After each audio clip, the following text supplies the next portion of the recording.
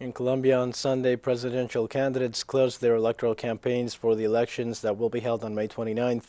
The candidate for the Pacto Histórico coalition and so far favorite in the polls, Gustavo Petro, closed his campaign on Sunday with his vice presidential candidate, Francia Marquez, in a huge rally in the historic Plaza Simón Bolívar in Bogotá. For his part, candidate Federico Gutierrez from the city of Medellin put an end to his electoral campaign in a public act from where he demanded transparency in the elections of next May 29th. In the same note, the candidate, Rodolfo Hernandez, ended his campaign in an atypical way, connecting via Zoom to give a speech to his followers who were in the main park of Piedecuesta in Santander.